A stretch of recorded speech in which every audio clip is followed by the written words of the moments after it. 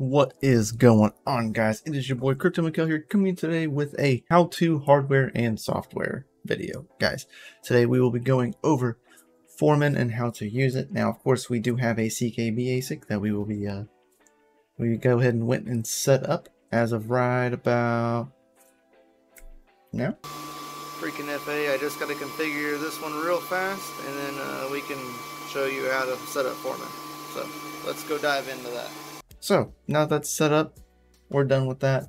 And now we can just go ahead and move on forward with our video, guys. We're going to set up Foreman. We're going to use a Raspberry Pi for this. This is actually um, donated from an old Helium hotspot, which is a 2 gigabyte version. It's an old OG hotspot. You can actually utilize those if you are not partaking in that network anymore. It's a good way to get those. Otherwise, you have to go buy them on Amazon and they're about 130 bucks right as you can see right about here. This is a 2 gigabyte version of bluetooth and wi-fi. As you can tell uh, you can go ahead and get a case with it. That would be ideal. This whole setup right here would actually be uh, perfect. Um, because with a good power source as well as a raspberry pi and a passive cooling case. You don't really need intensive cooling on this for what it is doing. Like I said, we are using Foreman uh, right here. It's an unified management for your cryptocurrency miners. Uh, sign up free for 30 days. Now it is free um, for 25 miners. All right, so if you have less than 25 ASICs, it's, it's free for you no matter what. All right, as you can see right here, up 25 miners free. Remote ASIC management, profitability reporting, and basic alerting. And you don't get some of these extra little little things, but for the standard you do, but for 30 days you get the full um, the full shebang here on uh, Foreman. Now you just got to make an account. Link in description below of how to do that. I already have an account and I already have a pickaxe, but we're going to install a second pickaxe and um, get to another network. Um, one of the uh, the CKB ASICs I actually have uh, was giving me issues with Wi-Fi and getting connected to the other network where I can do this. So it's been a challenge, but we got it. We can do this. So I will leave a link for all this stuff down in the description below. You can head down here to uh, raspberrypi.com, get the installer, and you can get to work. All right. And we will just head over here. First, we're going to choose operating system. Now we're going to go ahead and choose the Raspberry Pi OS 32-bit custom storage. Uh, we're just going to use the one that I have plugged in. And we will write it's going to overwrite everything.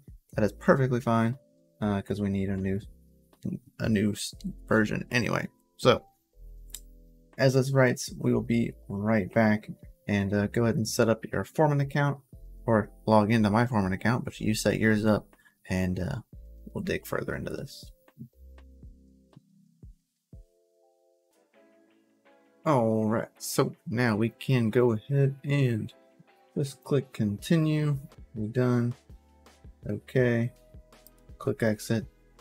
Now we can just go ahead and plug in our Raspberry Pi, which we are using right here.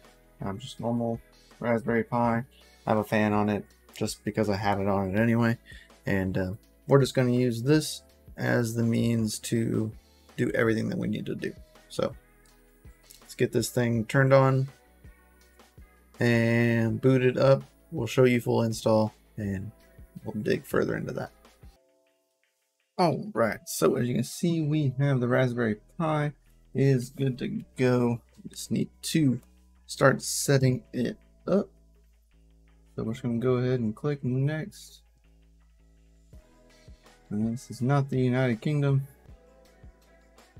Click next. All right, now we just got to enter a username and a complicated password. So I'll be lowercase, click next. Screen setup, let's not. That doesn't make it look any better. Plus it's not gonna matter.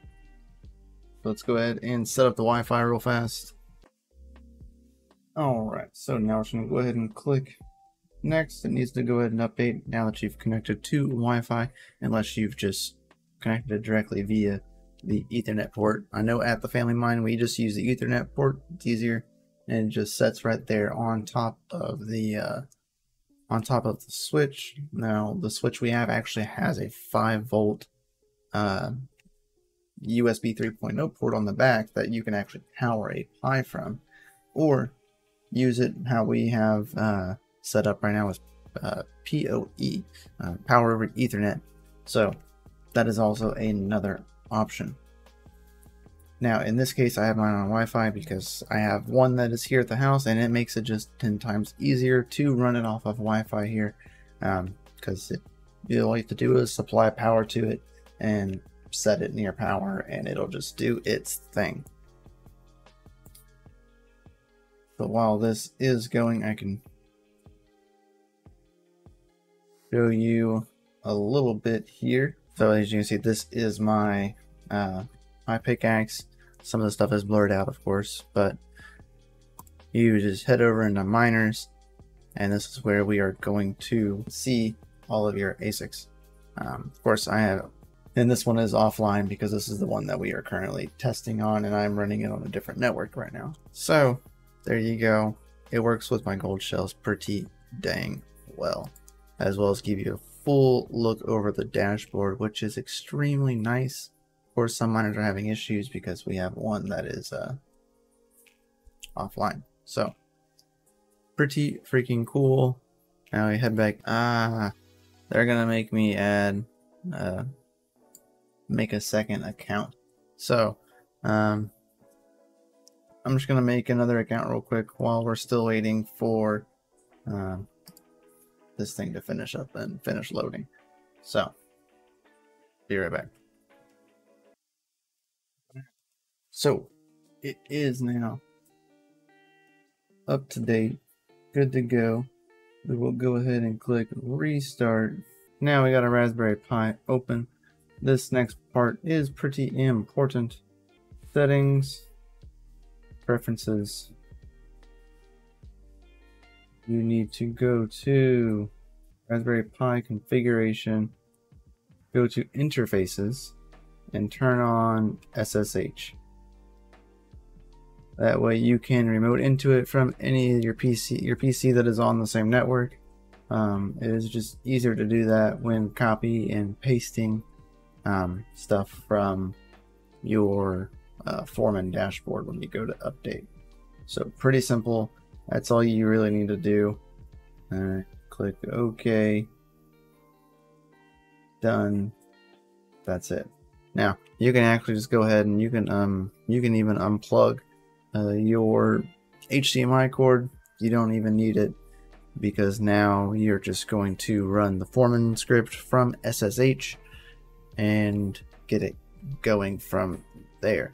And Foreman runs automatically, so you'll never actually have to get back into this dashboard uh, really ever again unless you need to do some updates or anything of that sort. So let's head on over to PuTTY and get started a little further.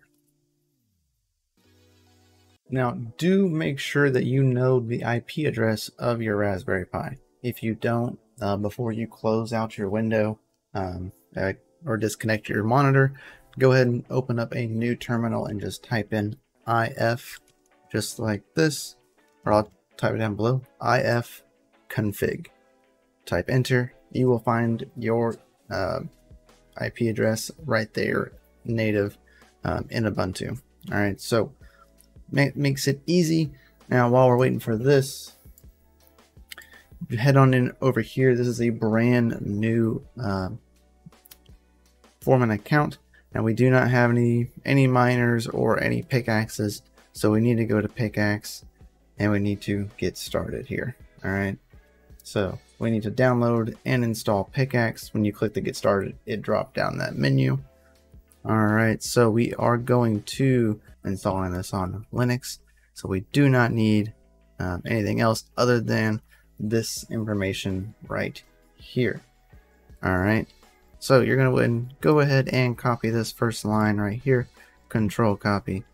Then you will go on over into your terminal. Here, you just right click to paste and click enter. Alright, so it's going to go ahead and install the UUID runtime and go through the whole process of setting up pickaxe. Simple as that. And Linux will automatically update your pickaxe server as it goes on and continues to run. So there's no need for you to do anything. This is if you need where it is installed at on your Raspberry Pi's um, hard drive, as well as how to start your services, how to stop your services, and how to restart. All right, now we do know that it, it starts automatically, so we do not need to start it, and it should pop up automatically um, in our pickaxe. All right, so let's go check that out. Alright, so now that our pickaxe is set up and good to go here, uh, we can go ahead and add a miner. So we will go find miners, select the type. So we're going to look for our Goldshell. We are going to find miners by a simple type. Alright, so simple search. And now we'll do like 10.0.0.2 so like 10.0.0.1. Right? Now for Goldshells, their stuff, their admin and password is what one, two, three, four, five, six, seven, eight, nine is their default password. So I just reset this, so it reset back to default. Now once if you've changed your password, you need to specify that, right? We'll search by IP or name it by miner type and IP address. And if you have a whole bunch of miners, this is good to know. That way you know which miner is which. Click start. It'll go ahead and search through the, I don't know what the 18 IP addresses that we gave it to select. All right. So we'll be right back whenever it goes through all 18, which literally won't take but a few seconds. If you're going through hundreds of IP addresses for like a huge farm, yeah, it, it, it could take a while. But, oh yeah, see, didn't even take any time at all. One miner was found, FA to that. As you can see, it added it right here. IP address, port, etc. You don't see most of this, but click save. Now, our new miner has been added and boom. You now have an ASIC over here on uh, on your Foreman dashboard. So we'll give it some time to sync up. That way we can look at all the stats and give you like a little more of a detailed overview. All right, so as you can see here, it is up and running. Now you can see temperatures, hash rate, uh, rejected percentages, stale shares, etc. Full on rundown here of everything that's going on. highest temperature, the max fan miner is healthy. Gives you breakdown of temperatures, where you're mining to, where your worker, your pools, your accepted share, rejected share, everything you would see normally on your uh, CKB dashboard. You can even click the IP address right here and it'll take you straight to the miner itself. I think that's pretty cool. It is a very uh, handy piece of software um, that we do use at the Family Mine. Now, I really like this. It's pretty great. I really hope, really hope that you enjoyed this um, little how-to video. It's a little lengthy, but it gives you a full rundown of how to set up a pickaxe server um, and get a miner or an ASIC miner um, to said pickaxe and get it up and going. Now, if you would like to unplug your pickaxe from wherever it is, like right now, mine's right here by my feet, by my feet on the floor. Um, it's sitting there. You can just unplug it, go put it wherever you would like. If you're running Wi-Fi, um, you can go plug it in anywhere, and um, it'll start the pickaxe right back up, and you'll be good to go. No, no fuss, no mess be good to go. Just make sure that you are using the correct voltage for your Raspberry Pi, I had that issue with one of my power bricks supplied 4 volts instead of 5, and it didn't really work half the time. So stay tuned for that. We'll have more videos coming soon of using Foreman, um, kind of a further deep dive, but today's video is just to get it, how to get it set up and configured to view your miners. See y'all the next time, guys. Much love. Peace out. Keep on mining and stay savage.